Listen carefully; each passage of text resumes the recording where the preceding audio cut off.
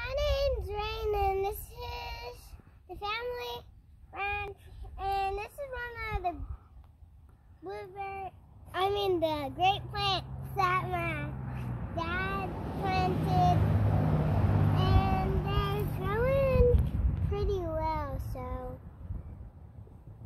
And the ones up here, they're doing pretty fine too. We just have to find them.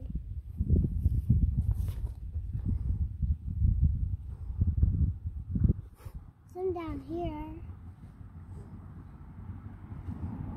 These are doing pretty well too.